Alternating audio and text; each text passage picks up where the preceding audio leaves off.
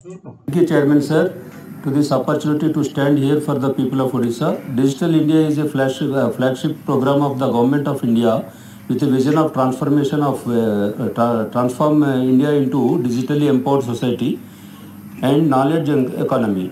But I would like to inform you that there is no network availability in 69 panchayats, that is 400 villages of 11 blocks of my district, which is Rayagada district, as well as the entire state of Odisha is facing this problem. Please, it is uh, to the, uh, the government to uh, look into the issue and uh, get a solution. Thank you, sir. Thank you.